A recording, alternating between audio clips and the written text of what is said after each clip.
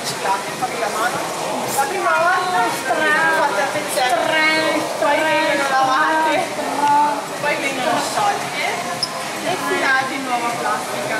Ok, quindi questo è il procedimento. Solitamente le bottiglie sono riciclabili al 30%. Coca ne inventa complicato. Non scordo. Questa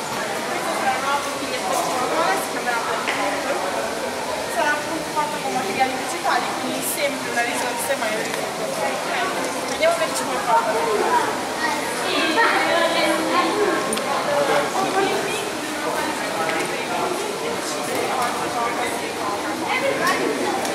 Я